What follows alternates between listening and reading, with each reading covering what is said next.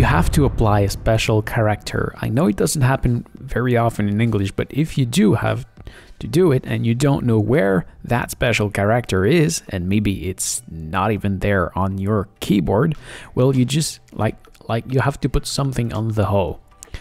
Well, you just have to press and hold the key and you will have that option that will come in. So if you want to put the bar on the hole like they do in Norway, well, I just have to press on hate and there I have it.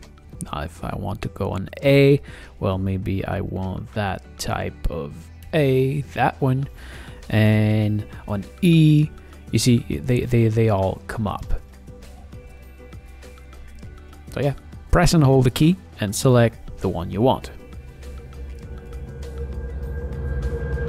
So this is it. Thank you for watching. I hope it helps. If yes, please make a thumbs up. If you have any question, please ask in the comment below. I may simply answer you or even maybe make a video just for you. So don't forget to subscribe and what you do see back there is from my main channel. So please come take a look at this right there. Thank you for watching again. See ya!